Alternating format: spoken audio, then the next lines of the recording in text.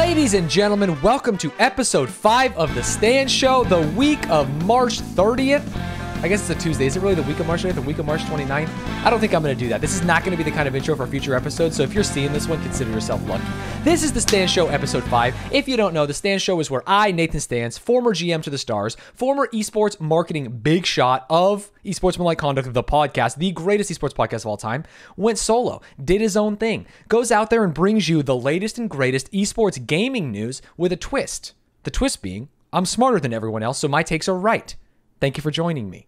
We've got a great show for you today. We're going to talk about 100 Thieves drama. We're going to talk about big YouTubers that I just learned about this week. We're going to talk about Mango versus Amaranth. Now that's a cage fight I'd like to see. And then as always, we are going to answer some viewer Q&A. But let's get started with the main story of the week, 100 Thieves in some hot water with Riot Games in what I will call a petty off a slap fight. It was something that was so very uninteresting, in which I feel like 100 Thieves came out in the worst possible light. So I came out with this thinking, like, this is not even worth talking about on the show, right? I know that 100 Thieves was in the wrong. I know that they looked like jackasses while they were doing it. And then, as I was doing my research, I found out Twitter took the side of the thieves. Huh? Twitter thinks that Riot was in the wrong here, that 100 Thieves were valiantly defending their players and competitive integrity. Huh? And so I had to dig a little deeper. For those of you who haven't heard, let me read to you exactly what happened between 100 Thieves and Riot during the VCT Masters event last month or earlier in this month. so, this all started with 100 Thieves playing Immortals in the Masters event. For some reason, I remember this because I was online watching it was delayed. It was supposed to start at noon. It's 12:15. No game. It's 12:30. No game. And this is pissing me off because the 100 the Gen G game is after this and I have to wait for this series to go on. And so I'm thinking, okay, what's what's happening here? 12:45, no game. At 1 o'clock, finally the game starts, and I'm starting to hear these rumors. I'm getting messages from people in the Valor community. Hey, there's some drama going on in the background. There are some people that are saying shit is not right here. And it turns out that after the fact, Riot issued a $5,000 fine and placed 100 Thieves coach on probation for what happened during this hour. Let me read the competitive ruling from Riot. 100 Thieves prevented the start of the series despite the explicit instructions of the tournament operator to begin the series, VCT explained. Furthermore, 100 Thieves head coach Hector Frost Rosario demonstrated unprofessional behavior towards a tournament official. We are finding 100 Thieves $5,000 for an extensive broadcast delay due to non-compliance with tournament official decisions and are placing Frost on competitive probation for the duration of the 2021 Valorant Champions Tour. Now that could have been it. Five thousand dollars? Are you? Nadeshot wipes his ass with five thousand dollars. You think he didn't make more than five thousand dollars off that Chipotle ad that we talked about on the last episode? You think he didn't make five thousand dollars playing in this random ass Fortnite tournament that he played in this week? Nadeshot's got the money. It could have ended here, and no one would have cared. But that's not the Hundred Thieves way. Oh no no no no no! Hundred Thieves said, you know what? We're angry. I think we have an opportunity to clap back here. I think that we are a valuable asset in the Riot Games team portfolio, and Riot Games would be wary to try and turn fan perception against us. We have the fans, we have the conch, we get to speak. And so 100 Thieves released this statement. We disagree with Riot's competitive ruling against our Valorant head coach Frost and strongly disagree with Riot's public release and mischaracterization of the incident after we complied with their investigation around a minor competitive matter.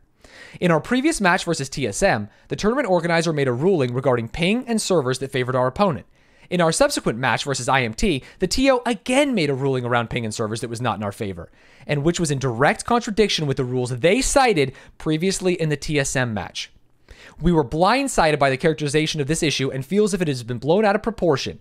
We would have preferred for such a small issue to have been kept private. we plan to pay our fine and move on from this matter. We feel our coach was fighting for our players and fans and advocating for competitive integrity. This is so funny to me because it's something that Rochelle says I do, and I say Rochelle does. And it's called being a last word Louie. They literally they wanted to get the last word, and in saying the last word, they're like, what we want to do is pay our fine and move on. When they could have just paid their fine and move on. They obviously didn't want to pay their fine and move on, which is why they made a statement. And they didn't even leak the statement. They didn't even make the statement through a Nadeshot channel, through a Hiko channel, or through the coaches channel. They posted a literal, beautifully formatted post on the 100 Thieves Esports Twitter.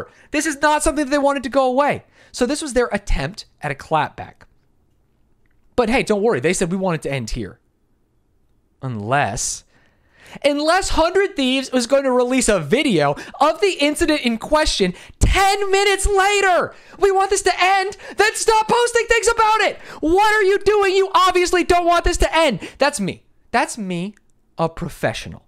A professional who understands that what they are saying and what they are doing are two different things. And what I have learned through this incident is that children do not understand.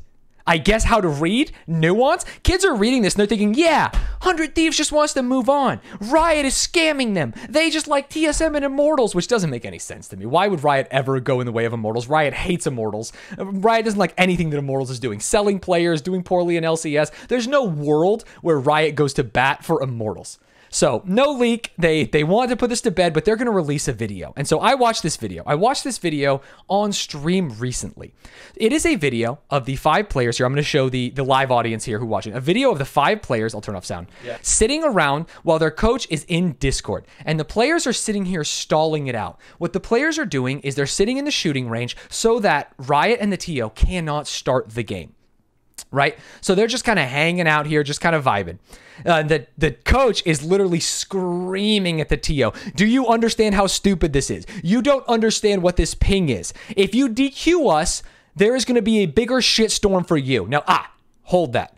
Hold that because part of Riot's accusation was that 100 Thieves' coach said he was going to leverage the social media presence of his players and his organization against the TO and against Riot. Now, this is the reason that Riot stepped in and made it public. The thought that Riot or any of Riot's approved TOs would give in to terrorism would let a little shitbox coach say, We are going to turn our Twitter fans against you? No, no, no, no, no. You don't know who you're dealing with. This is Riot Games owned by Tencent, one of the biggest, most valuable companies in the world. We have shit bigger than you this morning. Are you kidding me?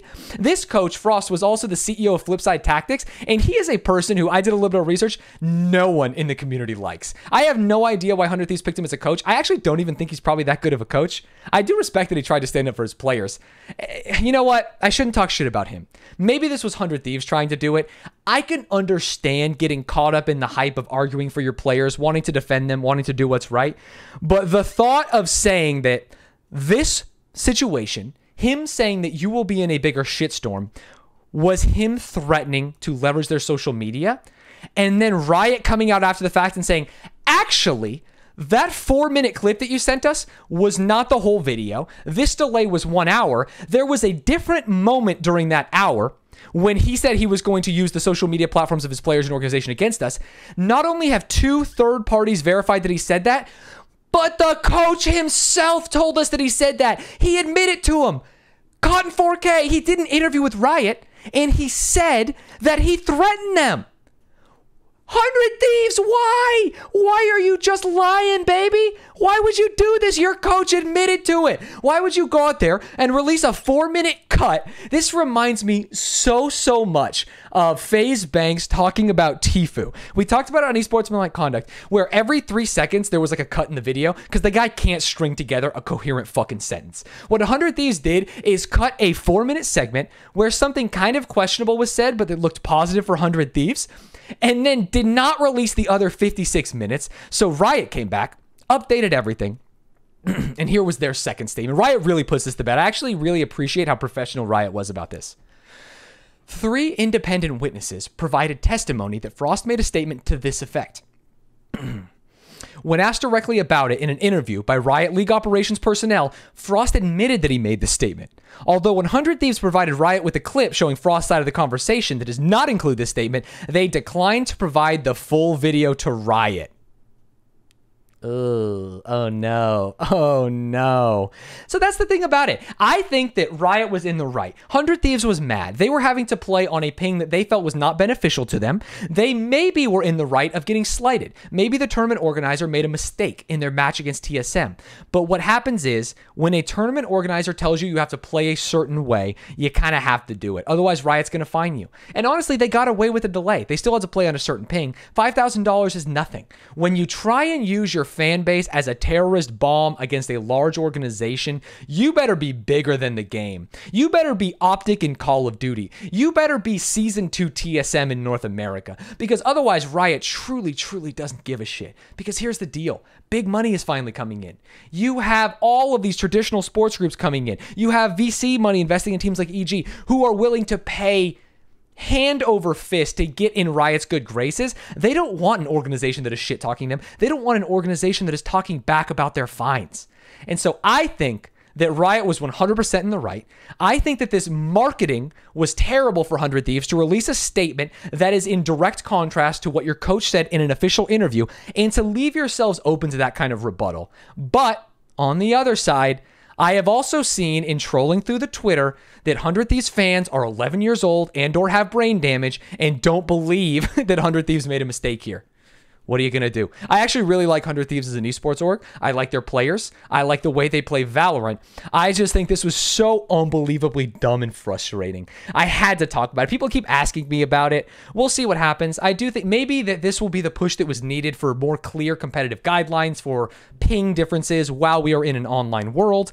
Maybe this will cause uh, like a new server farm for only competitive games in a more central location, let's say Chicago, so the teams who are playing in LA have a better ping against teams who are playing maybe distributed across the central United States. For example, Texas, for example, Ohio, Michigan, things like that. Uh, the fact that they have to play in Dallas has really hurt 100 Thieves. 100 Thieves has been riding this line of we want to bring all of our players to the compound so that on one hand, we can film content and make sure that we are delivering for our sponsors. And two, so that theoretically we have a big advantage, right? The players in person might play better. And so we are going to do that, but we are sacrificing a ping advantage. If Hiko was in Chicago, he might actually ping closer to Dallas than he is in LA. And if other teams have Canadian players, we are coast to coast against them. Which team is going to have the better ping? Uh, which was the problem. Uh, shout out to 100 Thieves for going for it. They really, they went all or nothing. I think they look like fools here, but their fans still like them, and I can't stop it. We talked about building a brand, and they have built a very strong brand. Power to them. That's enough esports. Ugh, esports is so hard and so stupid. Let's talk about things that aren't stupid. YouTubers, yeah, I fucking love YouTubers.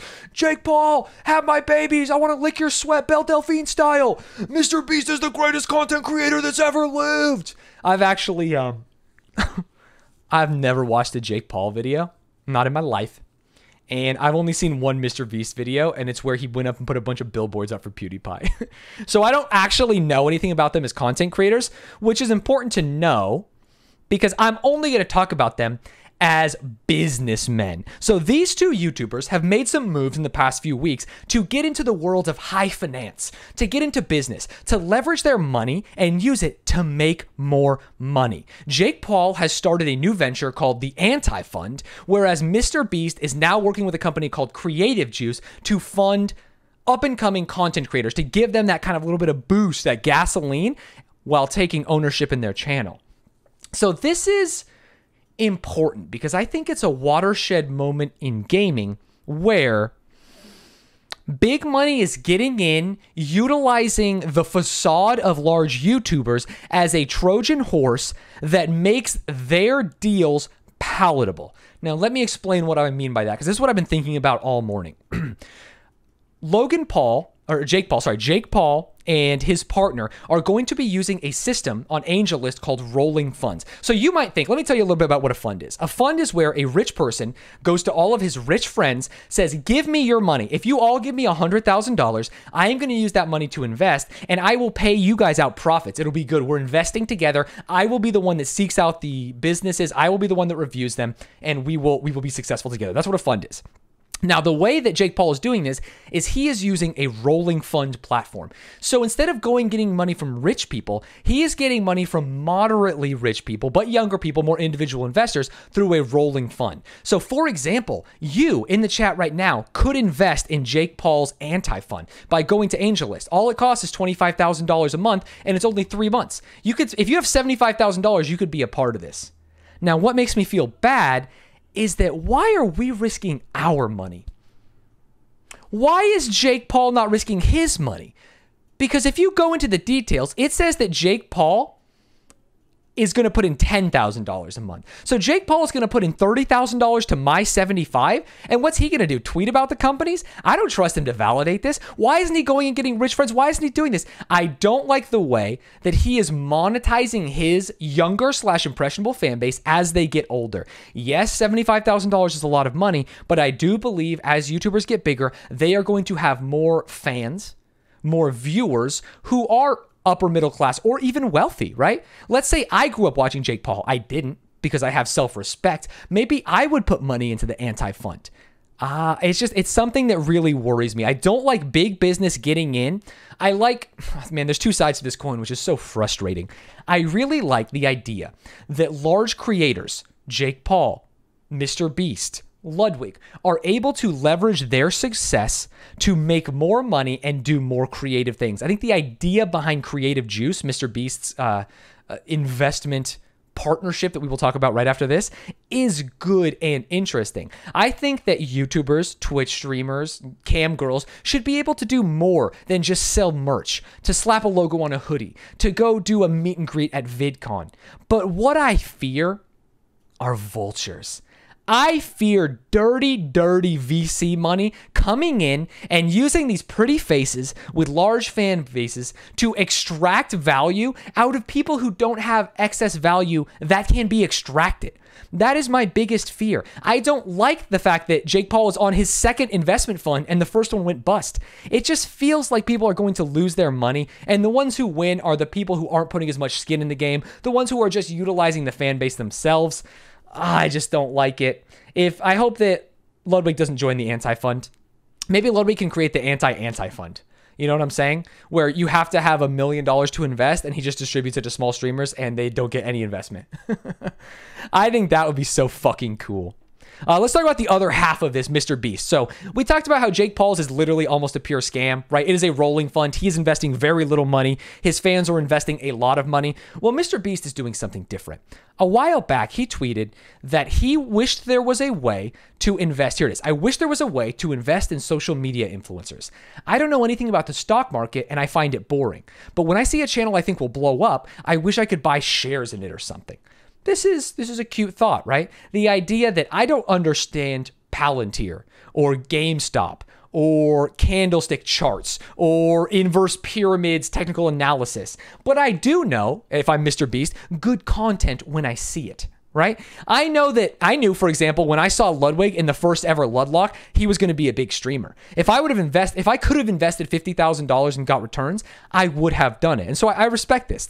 And so what he did is partner with a company called Creative Juice, who are going to take money and invest it into small content creators or mid-sized content creators for a percent of ownership in their brand and company. Now, at face value, I, this is going to be very similar to the Jake Paul thing. At face value, this is new, this is exciting, this is cool. But I can't help but think the world of content creation is one of the last true meritocracies in the world, right? Anyone, and I mean anyone with internet can become a content creator.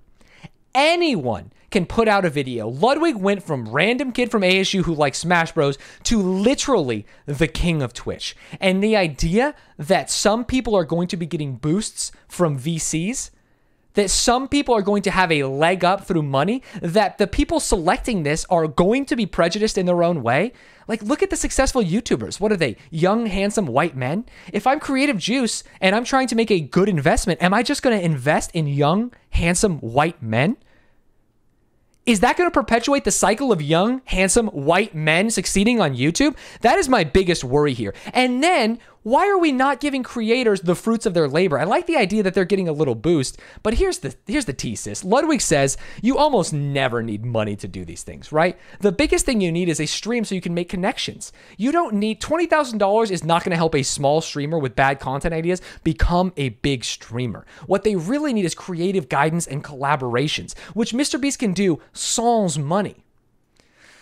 It's dangerous. I don't like it. We got VCs moving in big. Like I said, this is a watershed moment. All of a sudden, we are trying to monetize every aspect of what is pure in the world. We were already beholden to the algorithm. We have to create content this way. It's Among Us Monday. It's Drama Tuesday, which I, hey, I'll say it, I do it. But the fact that I will have to do that and that Mr. Beast and Creative Juice are going to be choosing the next content creators up terrifies me. And I am afraid that we won't see as many uh, ContraPoints in the world or Jarvis Johnsons, right? People that I believe in, that I love, that maybe don't look like the standard YouTuber creating the standard YouTube content. It's just a prank, bro.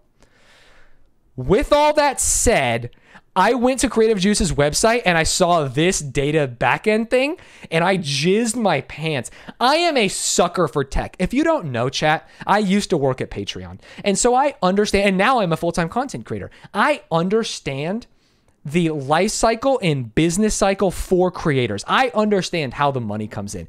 And I track all of this myself with an Excel spreadsheet. So when I look at a backend that tells me how much money I'm making, the value of my brand as an individual, maybe able to forecast a little bit, see what months did better, what months did poorly, which channels such as YouTube, Patreon, Instagram, Shopify are growing the fastest, which merch drops did well. I do feel like there's some exciting things here. This is exciting to me as a tech platform and not exciting to me as a big idea of funding creators and taking, I was going to say stealing, and I feel like that would be too much of an exaggeration, of taking, sharing a portion of their channel success. I don't want the rich to get richer. I want young, cool content creators to do their thing and succeed.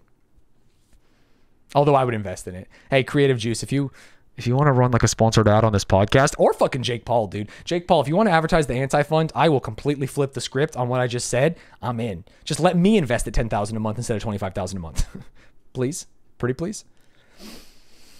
On to the final segment of the pre studied portion of the podcast. The rest is going to be all off the top of the dome.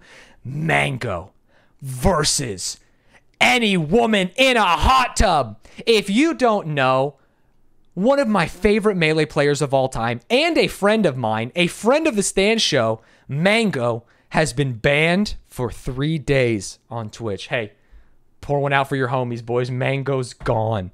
Uh, I'm not going to play the video that got Mango banned on Twitch. Hey, fuck it, or am I, baby? Let's do it. Thanks, Kobe. Okay, I'll move LeBron. so Joey I'm not moving Kobe. has an anime action figure. Mango is drunk. He's moving the figure back there. They're just drinking some brews and playing some melee. Having fun. This is TOS, yeah. I don't give a shit. Mango No, starts humping the base of the anime figurine. So innocuous. It's so, it's so, that's a three day ban, baby. That is a three day ban. Get his ass banned. Get him out of here. Uh, I don't think that Mango should have been banned for that. It seems like good, harmless, stupid fun. The thought that he humped a figurine, right? I think it's, it's very silly. Now, it has gotten to the point where people who think that is silly and didn't warrant a ban are taking this other aspect, this other undercurrent of changes in Twitch, and saying that there is a, a false dichotomy. There is a way that Twitch is pursuing these bans that is different from most people. For example, spreading your asshole on Twitch, three day ban. Having sex with an anime figurine, three day ban. Even Mango went so far as to tweet, Why am I getting banned when all these people are doing hot tub streams? And this is where I'm going to flip the script. This is where I'm going to get a little crazy with. This is where maybe I have a little different take than you've seen on Twitter.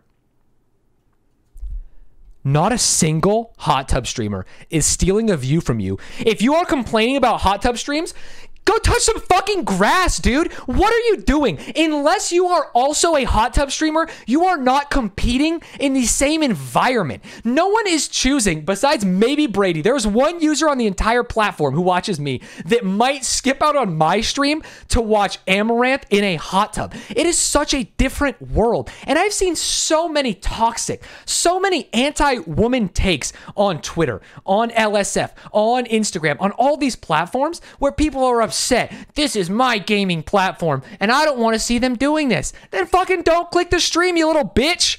And I, I swear to God, there's a thread on LSF where people are like, this is what's happening on our platform. And two of the four pictures are women with 100 viewers. They're not on the front page. One guy posted, This is on the front page right now. And he didn't realize that it was on recommended for him. That he's watching the hot tub streamers. He's part of the problem. The problem. I don't think it's a problem. I think free Mango, free the hot tub streamers. No one should get banned for this. Twitch has a setting that says this channel is meant for mature audiences. Mango toggles that switch. Amaranth toggles that switch. At that point, I don't give two shits if you're in a hot tub. I don't give two shits if you're doing squats for subs, and I definitely don't give two shits if you are humping an anime figurine. Let the man hump, unban Mango, and stop fucking looking at what other people are doing for content. That, that's just it. That's just it. Are we murdering people? No. They're writing a name on their body. Okay. Okay. That's fine. I don't know why I get so heated about that one. I do hope Mango gets unbanned. I, and I do think I've watched the video of him humming the figurine like 10 times. I think it's so fucking funny. it's so Mango. Chad is telling me that's a cold take, but if you are on Twitter, if you are on Twitch, or you are on LSF, that take is not cold at all. I would say that the vocal majority, and I will say it's the majority of Twitch, have a vendetta against hot tub streamers. They don't like it, and they don't like it because some of their favorite content creators don't like it. And they don't like it, I believe, because there is an undercurrent of sexism. Being in a hot tub isn't sexual unless they make it such. Sure, but no, that let's let's that is again a distraction.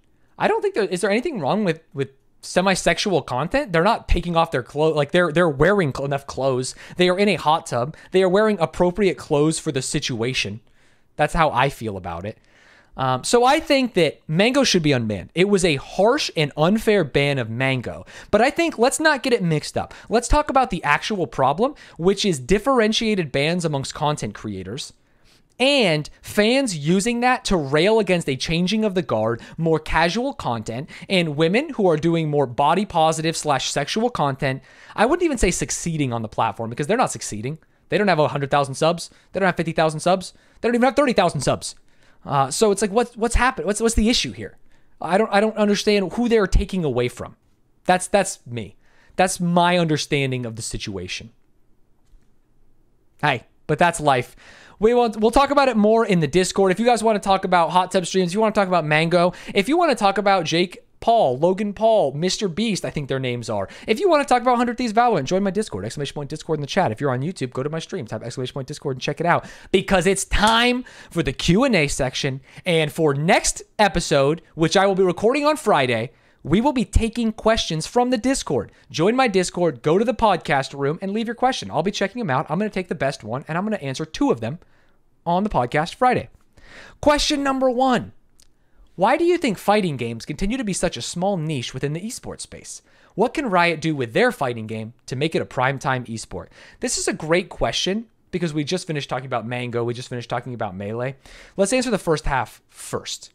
Why do you think fighting games continue to be such a small niche within the esports space? Okay, so I think there's two big reasons for this.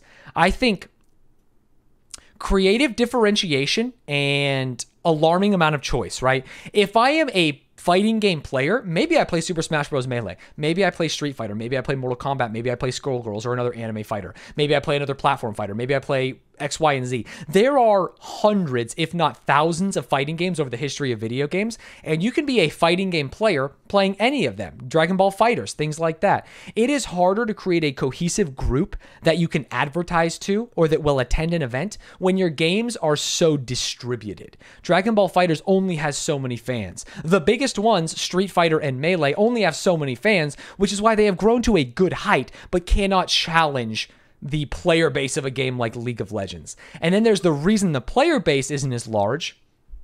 And that's because they're fucking hard and you can't blame anyone. When anyone asks me why I think fighting games are less popular than MOBAs, I give them an analogy or I compare it to StarCraft or StarCraft 2. StarCraft 2 or let's say Brood War. Sure, Brood War. I didn't play enough Brood War. I played more StarCraft 2. So I'm going to say StarCraft 2. But if you're going to roast me for saying it's the greatest game of all time, then just insert Brood War here and shove it up your butt. StarCraft or StarCraft 2 is the greatest esport of all time. It is unbelievably taxing, both mechanically and mentally. It is 1v1, so there is no one you can blame for your loss. The better player wins 100% of the time. Always. It is the esports esport. And guess what? No one wants to fucking play it and no one wants to watch it because it's too hard, it's too scary, it's too stressful. People don't actually want to play the hardest, most prestigious game.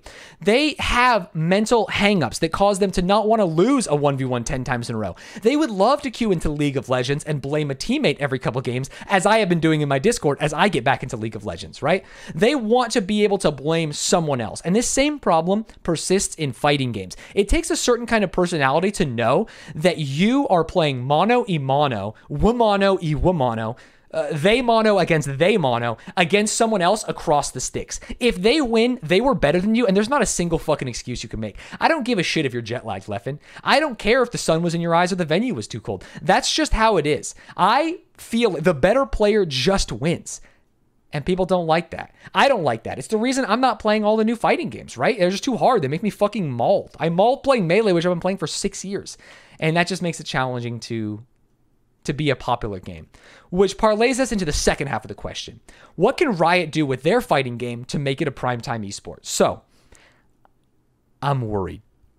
I am very worried because when I heard that Riot was making a fighting game, I thought that this is our opportunity. They can do what Wavedash couldn't. If you don't remember, I believe Wavedash was the studio that made um, knockoff Smash game. I actually went to their launch party at the Foundry. Basically, it was like a carbon copy of Super Smash Bros. Melee, but it had a few issues. It was on PC. I was, you know, everyone's to play it. I think that if Riot had made a platform fighter that was accessible and that had more casual game modes, such as team or other rotating ones, they could have taken the fighting game genre by storm. The problem is Riot bought a developer who was making a game called, I believe, Rising Thunder, which was a robot fighting game or like mecha fighting game. And so it looks like they are making a traditional 2D fighter, something like a Street Fighter, which is unbelievably hard. I don't think you can out Street Fighter Street Fighter. There have just been too many years of kids cooming over Cammy. There have been too many years of people laughing as they command grab with Zangief. I don't think you can make one with a new IP and actually do it. I, I just I'm really worried. Uh, the best thing they can do, I mentioned it earlier, create more casual game types. Try and avoid the the one v one should be the prestigious game mode. That's what their tournament should be. But you need to add more game modes. Things like coin battle and melee, even though no one plays it. Things like maybe items, they, so their casual player base would get excited. I don't believe they're doing that. And so here, I think it's the first time I said on the pod. I don't believe the Riot fighting game will succeed. I think that it's going to fail. Maybe it won't fail as hard as the Riot card game did, Legends of Runeterra, but I think if they expect anywhere near the success of Valorant, which is their newest IP, or even TFT, which is their second newest IP that lives within League of Legends, uh, that's just that's going to be a real challenge, a real challenge.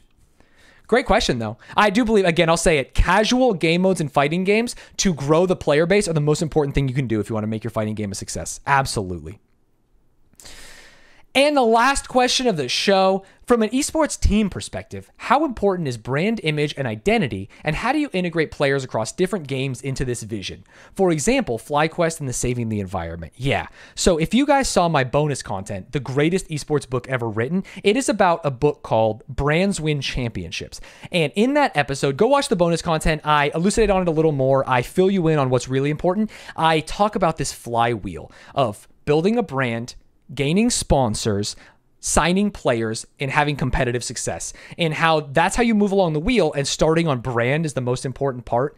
There are dozens, if not hundreds, of esports teams and failed esports teams that have avoided building the brand and are sowing the fruits of their labor, which is not success. There are also teams that have started that way and have realized that brand building is important, a la FlyQuest, as you allude to, uh, that are now starting to build a fan base that is different. FlyQuest started with a Save the Trees campaign. For every dragon we get, for every kill we get in LCS, we are going to plant a tree. Year two, we are going to save the coral reefs. We are going to do some underwater. All of a sudden, if you are a good person, if you are an environmentalist, if you like nature and you have no reason to root for other teams, why not pick FlyQuest? They've also started doing a concerted effort or building a, a, platform to reach out to Spanish speaking audiences. FlyQuest is co streaming all of their games in Spanish. And so they haven't done it yet, or at least I haven't seen them do it yet. This is the perfect foundation for building a brand in esports. I'm so glad you said FlyQuest.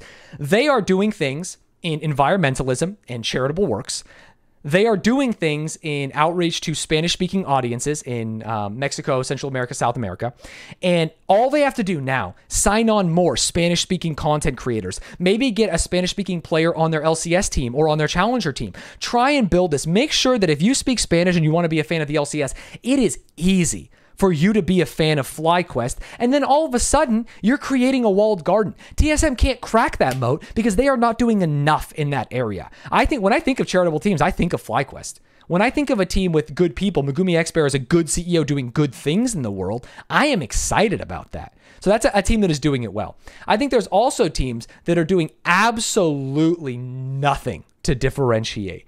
Now, I don't think it's gonna matter. I'm not. I'm actually not trying to like talk any shit, as I think this team is good and I think they're trending in an upwards direction. But TSM, I don't believe that TSM has a brand at all. TSM's brand to me was the best North American League of Legends team. That is no longer the case. I don't think that they have a brand in content creation as much. Maybe they have Hikaru. They have a brand of signing some Twitch streamers.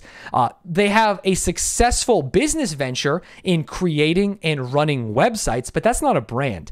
I think that TSM has more to fear in brand building and has more to lose and are doing less than a team like FlyQuest. I think that Gen G, for their first few years, had no brand whatsoever. And then Gen G realized, you know who's underserved in this audience? Women in gaming. And if we're going to be a women in gaming brand, we have to walk the talk. So this is you talking about integrating players across different games. Gen G said, if we're going to be women in gaming, we are signing the best women Fortnite players. And they did it. They signed Maddie, Tina, Carly, Hannah, uh, Moki. Tina won the TwitchCon event. She was the first woman to win a professional Fortnite event, a big one, a LAN event, I should say. Moki, the first woman to qualify for uh, to, or to get first in a qualifier for a Fortnite major event. Genji G walked the walk. Now that Valorant came out, Gen G signing more Valorant women streamers and soon to be competitive players. That's the way that you integrate a shared vision across. I think FlyQuest can do it with Spanish speaking audiences and with charitable works. I think Gen G's doing it with women, and I think teams like TSM are not doing it with anything. So eh, it's wholly important. I behoove you, I beseech you, please watch the bonus video of the greatest esports book ever written. It'll teach you a lot more about this, but brand building is truly, truly, truly the most important thing an esports team can do. And it's so different from what traditional sports teams can do because there are so many less restrictions. It's the reason 100 Thieves is succeeding while TSM is floundering. And that's today's episode.